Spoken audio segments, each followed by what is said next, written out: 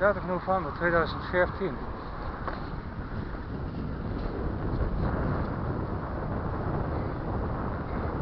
Handelscentrum. Het is het in het Duits heet.